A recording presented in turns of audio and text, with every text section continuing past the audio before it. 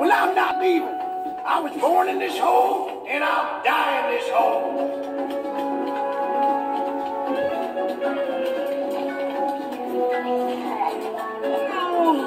Do we have to bring this crap? I'm sure there's crap where we're going. Ah, this was a gift from my mother. Okay, keep it moving, keep it moving. Manny, Manny, I, I just heard you're going extinct. Hey, do you ever master hygiene? Try working on sensitivity. Not going extinct. Kid, look. The last. one! Well, you probably won't see another one of those again. See? Let's see, one, two. Where is James?